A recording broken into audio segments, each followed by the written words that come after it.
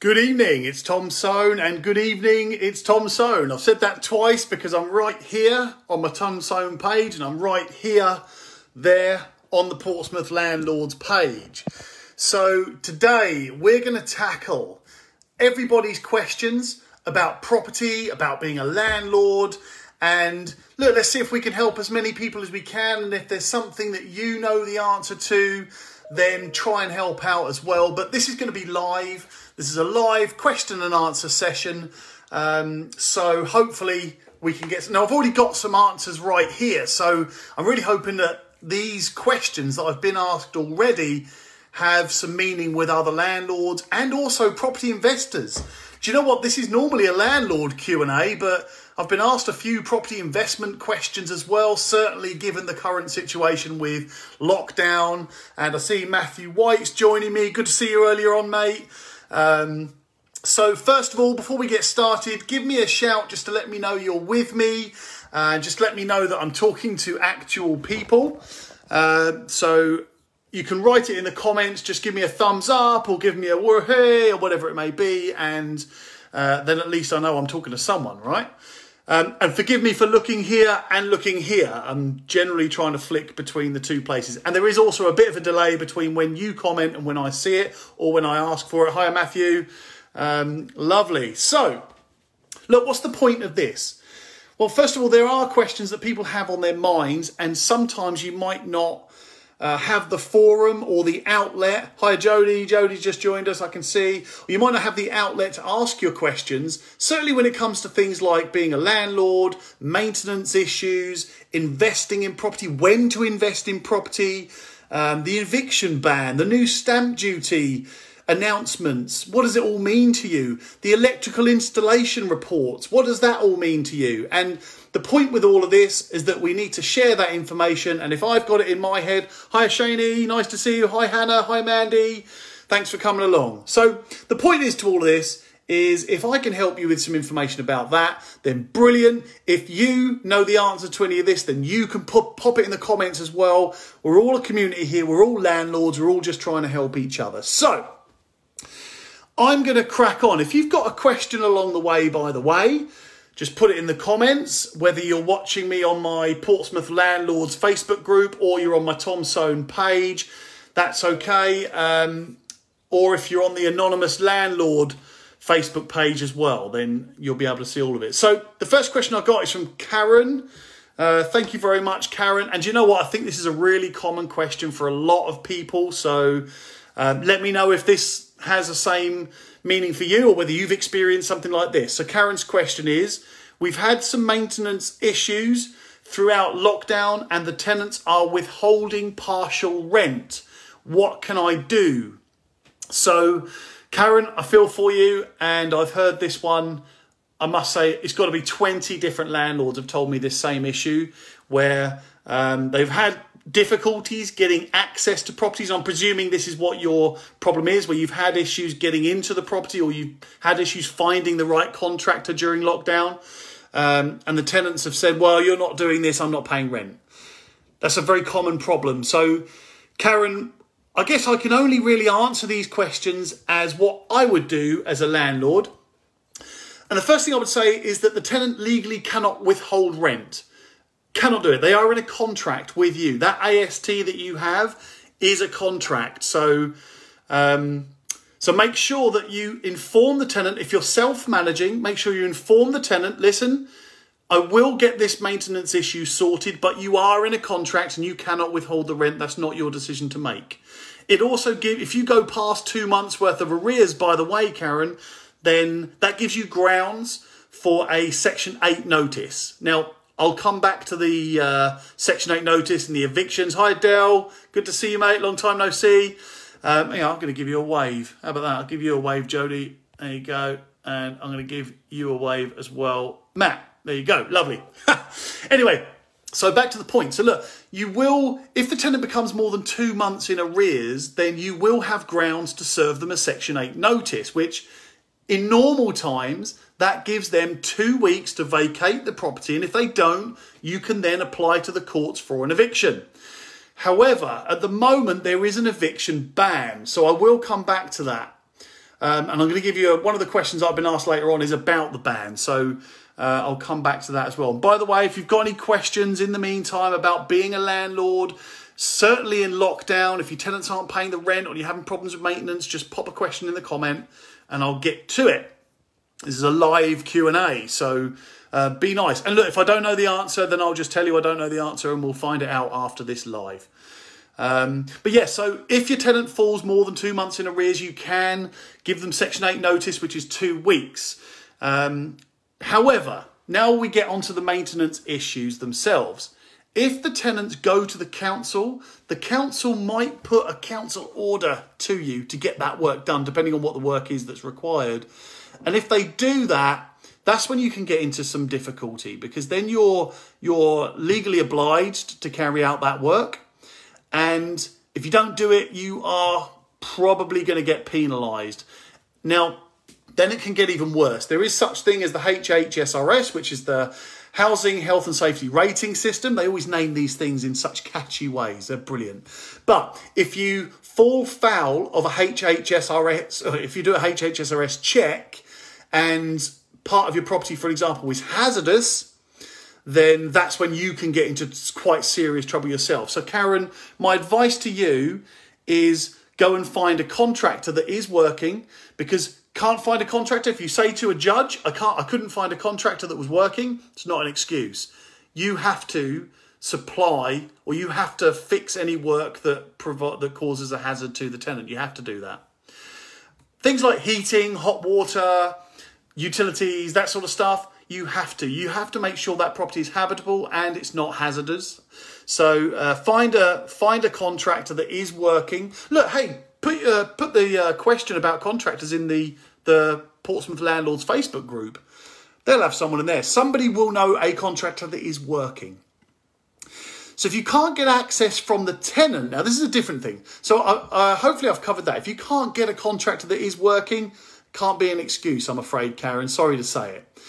But if you if you can get a contractor, but you can't get access with the tenant, then record all of the attempts that you've made with the tenant in writing to access the property. If the tenant just isn't letting you in, then tough shit, Mr. and Mrs. Tenant. You can't not pay your rent when you won't allow the contractor or the landlord in to fix the problem.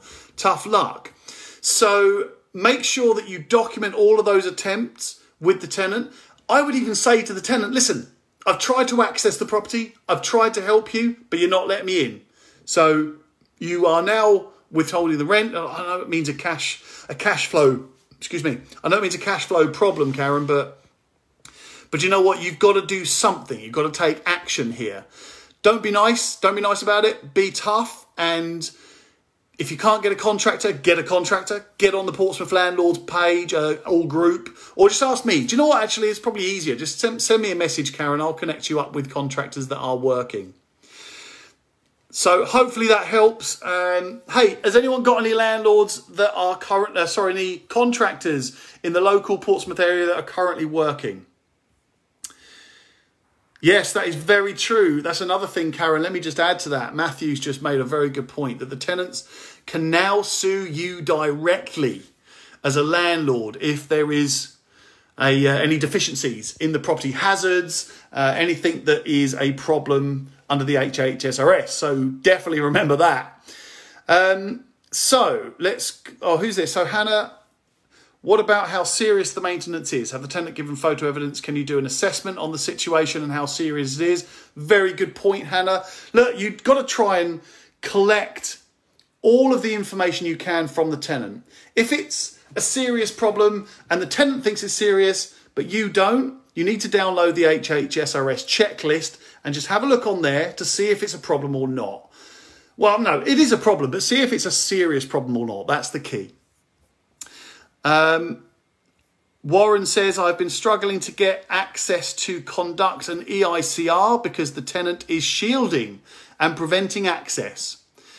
Yeah, do you know what? That's a common one, mate, if I'm honest with you. Um, do you know, if you're gonna if you're gonna go for an EICR, there's a couple of things I would give you because I've been asked another question actually by um, by Sharon yeah, Sharon, uh, who's basically said, should I get an EICR now, the electrical installations condition report? Should I get that now or shall I wait until next year when I actually need it?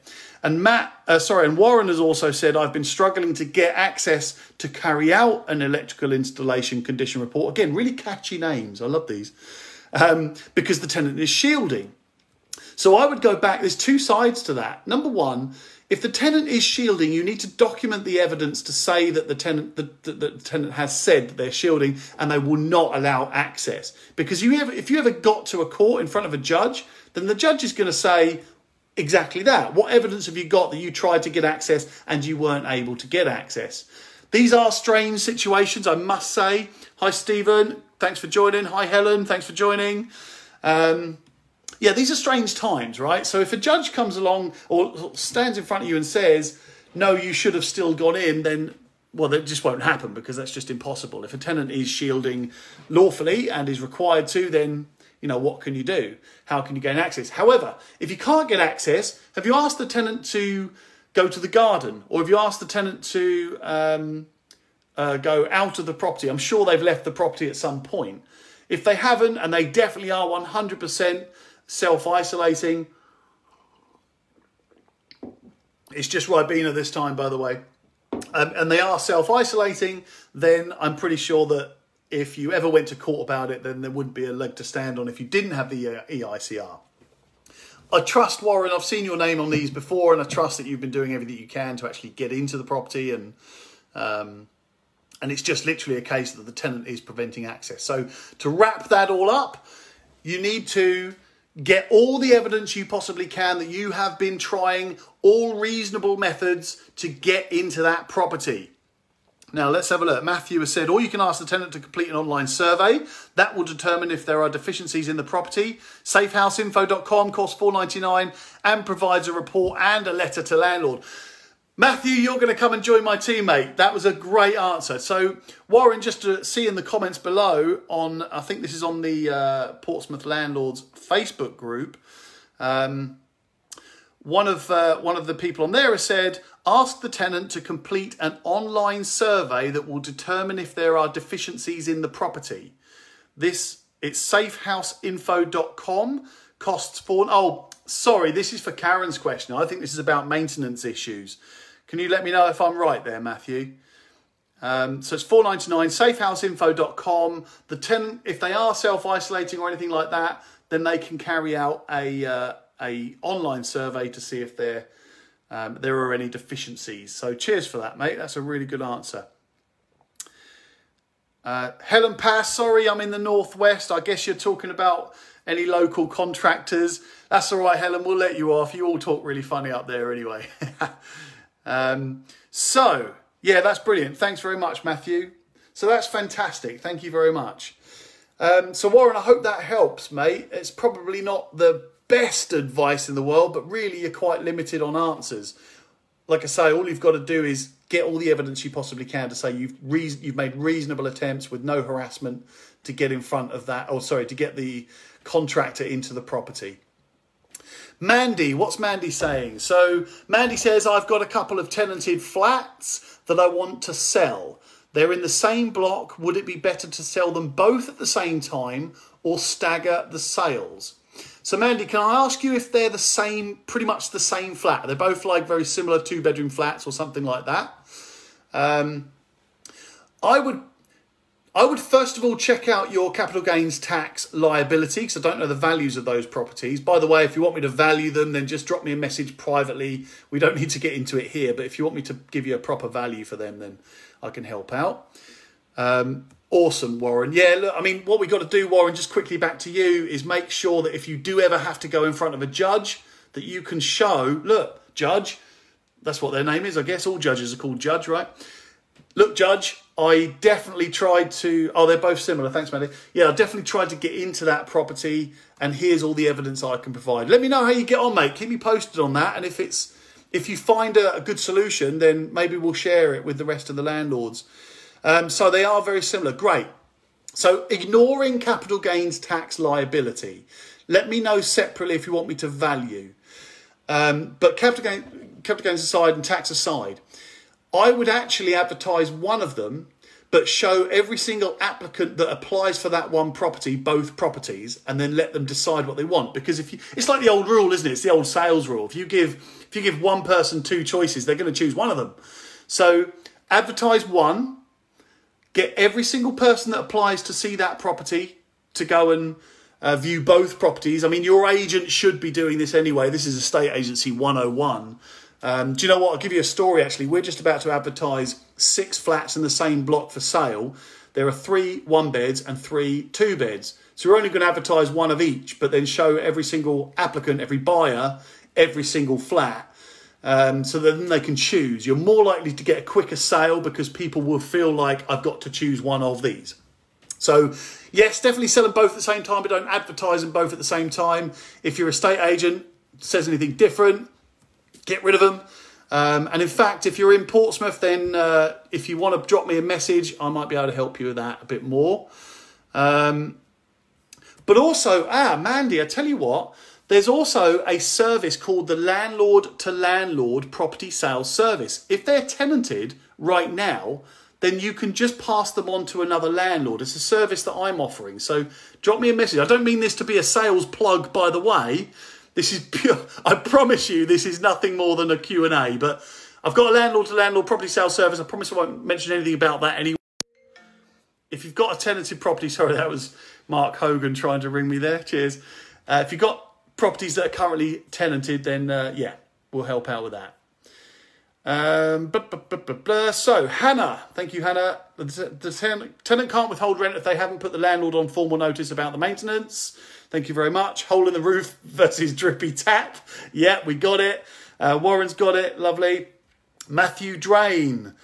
I have been told to isolate due to medical reasons, and as of the 6th of July, we are allowed out, but still no visitors in at the moment looks as though from the 1st of August all restrictions lifted for shielded persons. Brilliant. I think, Matt, you're probably helping out the uh, question about uh, being able to get into the property, right? Getting access to the property, which really helps. So, who was that? That was. Um, crikey, I'm getting really lost with these questions here. Right. Uh, so, that was Karen, I think. Karen had the problem with maintenance. Um, uh, was it? Let me check here. Someone give me a hand, will you? Here we go. So this is Warren. Sorry, it's back to Warren, isn't it? Shielding and preventing access. Yeah, so Warren, looks like 1st of August, all restrictions are going to be lifted for shielding shielded persons. So that might help. Oh, here we go. You've already said thank you. Remember, I've got a bit of a delay on your comments and when I answer and when I see them. So stick with me. But it looks like Matt and Warren have got this covered. Uh, thank you very much. Hi, Ryan. Thanks for joining. Hi, Jeff. Thanks for joining. Um, perfect. Right. The next question I've got here is, oh, by the way, if you've got any questions, just fire them out. Either I'll answer them or we've got some great guys in the group here who seem to know their stuff. So, actually, here's a property investment question. I'm looking to buy a new investment property over the next couple of months, but I'm debating whether to wait until 2021. What do you think? From Lee. Thanks very much, Lee. I didn't get your surname here, Lee, so um, I'll hopefully you're watching this or you will watch this at some point. But really common question. I'm going to give you a wave, Ryan. I'm going to give you a wave, Jeff. There you go. Lovely stuff. Um, yeah, really common question. Look, there's a bit of uncertainty at the moment, is there? Isn't there? People think that the prices are going to shoot down. Other people think they need to invest now. Other people are scared of investing in property now. So what do I think? Look, I mean, this is uh, this is my opinion. Go with it if you want. Don't go with it if you don't. But I think property prices in my area are going to stay fairly steady. If anything, there will be a small increase now over the next three months, and I'll explain why in a second. But I think then we'll see a slight dip back down to where we were, and then I think it's going to continue rising up as normal. And I'll explain why I think that. First of all, I think that coming out of lockdown, there has been evidently a big surge on property purchases. Now, I think that is a blip. I think that's a spike, and I think it will last for about three months. Good yeah, right. Stamp duty. Thank you. Um, I'll come on to the stamp duty stuff in a minute.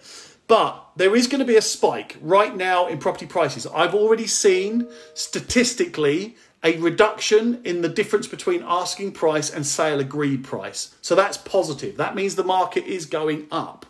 But that is short term because I think once this spike comes back down, I think we're going to go like this. If you want a graph, I think it's going to go zoop like that in the next three months and it's going to drop down to here, then come back to here and then continue to rise. Now, that's because once that I guess the bottleneck of buyers that have been stuck in lockdown or people that have decided, no, enough's enough. I want a garden. This beautiful weather we've had in lockdown. I wanted to be able to enjoy that in a better garden or a better area. I want to be closer to family. That's what's happening right now. When that dies off and there are more people that see all these property sales going through and then they think, oh, I'll get on the market. Right now, we've got less properties on the market and more demand. That's why. When all those properties come onto the market and then there's more properties than buyers, then demand is going to be like that. And that's when property prices will start to come down again. And then I think as of the next as of next year, January, February time, that's when it's going to start rising again. But the question is, should I buy now or should I wait? Well, I think a property deal is a property deal.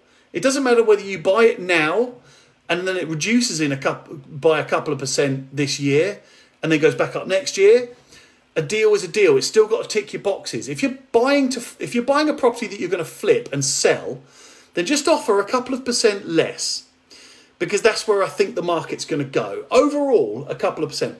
There are going to be places that are going to suffer more. And if you're in other parts of the country, then um, yeah, maybe I'll offer him one of your flats, Mandy. Good question. Great comment. So yeah, if you're going to buy, if you're going to buy now and sell it, offer two percent, maybe three percent less than you would normally offer.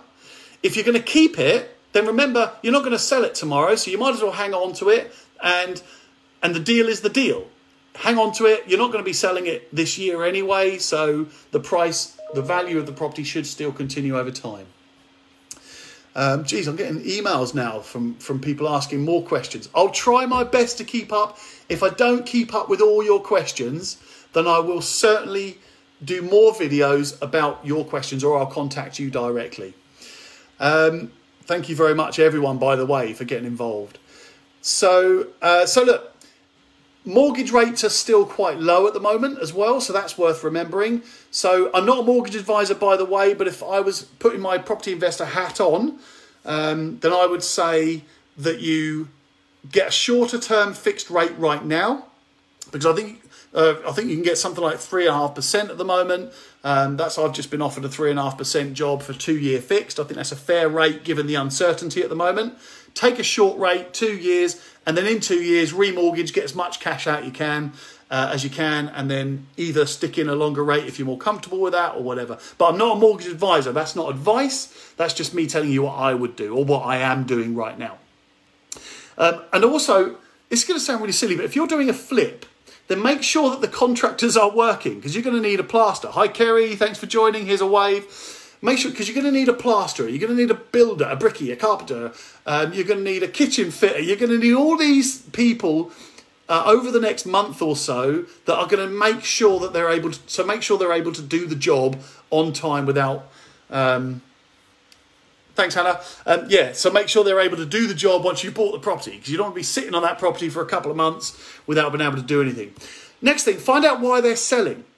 It sounds really obvious, right? But if they're selling a property because uh, they've got a tenant in there and the tenant's not paid rent for six months and they can't afford to keep it, there's a deal there. They're a distressed, distressed seller. You might be able to pick up a really good property deal and uh, and keep the tenant in there. Maybe if they are a good tenant, they are paying rent, but the landlord just needs to get rid of it. You might be able to keep the tenant. Remember the uh, the landlord to landlord property sales service, and I promised I wouldn't plug that again, but I've done it. Oh well, um, I'll beep it out or something. But uh, and also, if you you might be able to offer somebody a lease option because if you're maybe this isn't the right time to, to explain exactly what a lease option is, but I'm doing two at the moment. And it's an opportunity for a landlord to um, get the income that they that they want without losing um, I guess really, and then the buyer has the opportunity to buy the property at some point in the next five years. That's the option. And you give them a guaranteed rent for five years. That's the lease. And the landlord then gets their income each month. They're able to then uh, walk away from the property, so to speak. But we'll do more on lease options another time. I think so it's a pretty big option, but it's a pretty pretty big subject. But it's a really good way to make money in property very easily.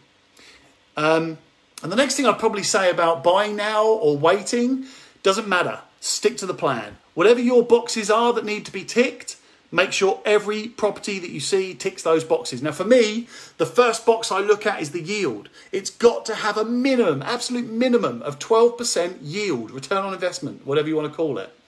I mean, yield and return on investment is different, but we'll do that another time. But minimum 12%. Ideally, I want 25%. I want more than that if I can get it, but the box still has to be ticked. It must return a minimum of 12%. If it doesn't return 12%, it doesn't even get a look in. So, um, and then look, anything above that is fantastic. If you're one of my clients, by the way, you better not you better not miss any one of those boxes out. anyway, uh, what's the next question here? What can I do to prepare for the eviction ban to be lifted? Right, so uh, that's from Matt. Cheers, Matt. Um, and by the way, if you, Sally Lawson is watching. Hi, Sally. Here's a wave. So, what can I do right now to prepare for that eviction ban being lifted? My immediate advice is wow. Oh, thanks, Hannah. I don't know if that's for me or the fact that Sally Lawson's joined. It's probably the Sally Lawson joining. Um, but look, what can you do? We're not too far away from that eviction ban being lifted, everybody. But I would say apply for your apply for the eviction now. Look, you can apply for it now. The courts will still process that application, but they won't start processing your application until the end of the month. Uh, sorry, it's next month, isn't it? But what you can do is prepare for it because the courts are going to have, I think, about three months of backlog. So when they come out, uh, when they come out of this ban and they start processing your application, that's when they're going to pencil you in for the next available slot. I think there's going to be three months minimum before anybody who applies now gets to be seen by the courts. So prepare for that. That might mean three more months of no rent. It might mean 12% yield minimum, lol. I think we're probably calculating uh, different types of yield, Hannah. You're probably calculating fake yield. I don't mean that as an insult, by the way, it's just what I call it. Um, but that's a whole new thing. Just Google search Tom Soane True Yield, you'll see it. Anyway, um, so I think apply now anyway, get that application into the court, and then once the ban is lifted, that's when you'll be slotted into the next available appointment. And I warn you, it might take a few months. So, by the way, I'm also on my, my Portsmouth Landlords page here. Uh, this actually might be my own Facebook page, and I'm on the uh, Portsmouth Landlords one here. So, so forgive me if I'm uh, looking at two different spots here. As you can see, I've got you all here. Hi, everyone. So, next question, please. And sorry, I will get to all your questions. I didn't think I'd be getting this many. This one is from Sharon. Oh, that's the EICR one. That's fine. Could you issue a Section 21 notice now to kick things off? Absolutely yes. Uh, same rules apply. The, the notice will start when the eviction is when the eviction ban is lifted, but that's when you can. Uh, so it's like a minimum period, if you like. So you can serve it now, and then it will kick off at that time. But you can apply to the courts if you can go that way right now. Have you got someone, Warren, that you need to get out of your property? I'll. Uh, there is a, is a delay between now and between when I say something and when you comment, but. Um, Oh, I love that, Hannah. Sorry, I've only just seen your, your bit there. Hannah says, if the right property comes along and it's the right deal for your investment needs, don't wait. You'll never get anywhere by not taking action. I love that. That's a headline right there. Hannah, by the way, is the uh, the lady of lettings over in Wales. Absolute phenomenon. If you want to invest in Wales, then then see Hannah White. She's right there. Look. Oh, you have Warren. Oh, that sucks. Sorry to hear it, mate. Um, so look, has anybody got any more questions? Any got anyone got any current situations they're dealing with? I'm just going to check through some of the comments here. Or has anyone heard of any problems or issues with landlording or lettings or property investment that perhaps they know of from other people. But what I will say, just to recap for anybody that's just joined us here, um, if you're having maintenance issues where you can't gain access to the property, we've been through all of that. Hi, Abe. Thanks for coming along, mate. Uh, thanks for joining, Abe Rubin. Now, if you're having problems accessing a property with your tenant and they're not letting your contractors in or they're not letting you in, then just document and record every single attempt that you have made and every single response that you that your tenant has made to you to show that you have reasonably attempted to access the property. And think of it like this, if you ever had to sit in front of a judge and say, "Look, I tried, I tried, I tried," what's the judge going to want from you? They're going to want to see full evidence, start to finish, that you've tried to access the property reasonably. The next thing I said to Karen, which was right at the beginning for those that have just joined, is that not having a contractor is not an excuse. Not being able to find a contractor that's working is not an excuse for not being able to carry out essential maintenance works. Um, and there was a, a really good bit of advice coming from Matthew. Let me just grab it. Here we go. Right. The tenant can complete an online survey that will determine if there are deficiencies at the property. And if you get your pens and papers right now, it's safehouseinfo.com. And I'm saying that for the people here because I'm not too sure whether this is my Facebook page or whether this is my Facebook page or this is the Portsmouth Landlords page uh, group or this is the Portsmouth Landlords group. Who knows? We'll just talk to both. So yeah, that was safehouseinfo.com. It costs four ninety nine, and the tenant can provide um, can go through an online survey to see what deficiencies there are in a property, and it will provide a report and a letter to the landlord. That's awesome. Hi Annie, thanks for joining. There you go. And right. So then we went through, um, we were talking about property investment. Someone asked whether we should invest in property now or whether we should wait till 2021. I'll very briefly recap on that. I think there's going to be a little spike right now in property prices, only for the next two to three months. Then I think it's going to start to tail off a little bit. Then I think we're going to have a little bit of a dip. Now, some areas are going to be worse than others. I'll tell you, I'm going to predict something here. Um, and I'm happy to stand up and fight my corner if it doesn't come off. But Portsmouth and the surrounding areas will be fine. We always are. Portsmouth and surrounding areas, the property prices are not going to come down. But elsewhere in the country, it's going to come down a little bit. But overall, next year, it will start coming back up again. So hold me to that. I'll happily. This is Portsmouth Landlords, right? So, Portsmouth Landlords, yes. And you guys, if you're not in my Portsmouth Landlords group, but you are a Portsmouth landlord, go over to here and join the group. Anywho, so um, yeah, so I basically said invest now um, if you're keeping a property.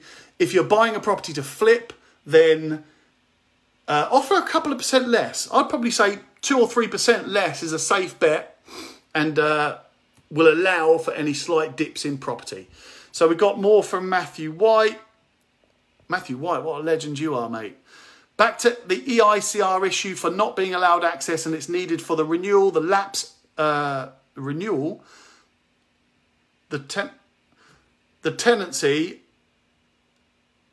I'm not sure I'm following that. Let me just try and read it. Back to the EICR issue for not being allowed access and it's needed for the renewal, the lapse of the tenancy into a statutory periodic tenancy, not a fixed term or contractual periodic tenancy. The EICR won't be needed until April 2021. Yep, fair point.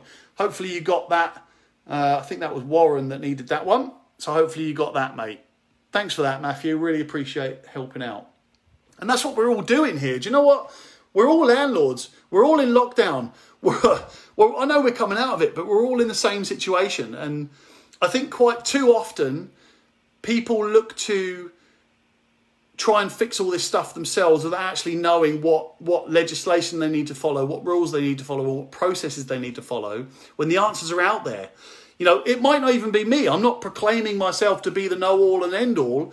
I know my shit, but I think there are quite evidently other people that know shit too. And I think we all just need to help each other out. And, and hopefully you're all with me on that.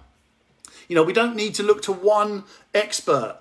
I think actually the ultimate expert is the one that can collect information from many different sources, right? And I think if we all just pull together and share our knowledge and share our experiences together, then actually being a landlord is going to be cool again. Because at the moment, I feel like it's not so cool as it used to be. But anyway, the next one we were talking about was what can we do now to prepare for the eviction ban being lifted? If you've got to get a tenant a tenant out right now, unfortunately you're going to have to wait, but apply to the courts now. If the tenant is more than two months in arrears, apply to the courts now. Um, oh, Wes, Wes, Wesley Bateman. So you've uh, you've missed out on the stamp duty saving, and oh no, that sucks. Oh, you missed. So basically, if you're if you're in this group, then the this is my Facebook group. Then uh, Wesley Bateman has said that he's just missed out on the the stamp duty saving that's just been announced today. I don't mean to laugh, Wes, but that's awful, isn't it? But you know what? All right, take yourself out of it. I think this is a really positive move by the government, and what opportunities does it present to the rest of us? I think that's what we should all be looking for. It's yeah, it's gutted. Um, if you missed out on that, I missed out on it too. But if if you if you did, um, if you, we need to look at what opportunities there are. That's what I'm trying to say. Not what opportunities there aren't or what we missed out on. Let's have a look at what opportunities there are. If you're buying a property to um, uh, to invest in, then there's going to be, a, you're flipping to sell, then you're going to have a bigger market because there are people that are going to be able to afford properties now. Especially if you're doing a flip and you're going to sell a place for a couple of hundred thousand, and now that person who's buying the property off you doesn't need to spend six grand on stamp duty. That could be more money in your pocket. You could get a better offer because that person doesn't have to spend money on stamp duty. So try to remember that and try to look for opportunities wherever you can. Um, so look, I mean, I'm, I'm running out of questions here. I did get a few questions by email, but I think I'll save them up now. It's 20 past eight. And uh, as you can probably tell, I'm running out of things to say. But just remember, follow my podcast. It's see what Matthew White's just said. Sorry if I keep stopping. By the way, it's because I get a comment on the uh, on the Facebook page. Um, but yeah, follow the podcast. What am I doing on the podcast? It's called The Anonymous Landlord for a reason, because I think that's the ultimate dream for any person who's interested in property investment. In fact, any person who's interested in business and property and life in general, right? I mean, I tried to make it with the anonymous landlord because that's what I'm doing. Because what's the point in earning tons and tons of money in property if you haven't got any time to enjoy it, right?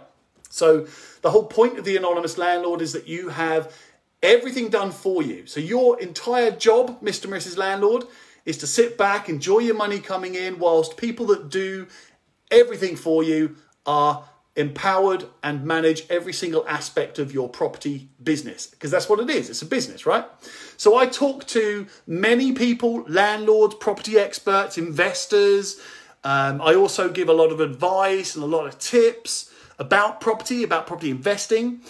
But where do I think I'm a little bit different? There are loads of property experts and investment courses and training and you can spend thousands of pounds on property training, but I'm going to give it to you all for free because I'm doing it right now. I'm speaking to the people that have been doing it for years. I'm going to be doing it myself with you. I'm going to tell you about every single property deal that I do, I've got one coming up or I've just offered somebody a lease option, which is a very good way to make money without in property without having any money yourself. I mean, this one I'm hoping to get and I'm not spending a penny of my own money. So if I can get that, I want to I want you to go through it with you with me. On the next podcast that I do about this or the next video I do about this, I'm going to tell you what I offered, why I offered it, how I offered it. If we negotiate with the owner, then I'll tell you about that too. And um, and I want you to go along that journey with me. So, so tune into the podcast, and I hopefully will see you all there. If I don't, then keep watching the videos. But until then, I think that'll do. Uh, unless anyone's got any last minute questions. What have we got here? I think stamp duty holidays. Yeah, it does, Matthew. You're right.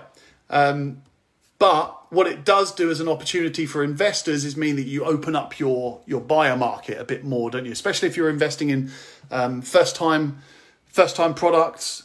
Uh, Hannah, I need to speak to you about lease options. Yes, I'm more than happy. I've got two on the go now. Um, they're really good fun to work out. So yeah, definitely happy to to talk through those a bit more, especially if you've got one in mind. Uh, I help you put together an offer. So I'm going to leave it there. I'm going to go and um, have a drink, and hopefully you'll all join me. Look, if that was useful in any way, then please do let me know because I do these things for free just because I find them good fun. And I'm just trying to help as many people as I can. I think we all have a responsibility to, to help each other in these situations. So, um, outside of that, have a great time, everyone. Thank you very much, Matthew. Thank you very much for everybody who joined me, and I will speak to you all soon. This might take me a few seconds to come off of live, but there you go. End this live video. Catch everyone soon.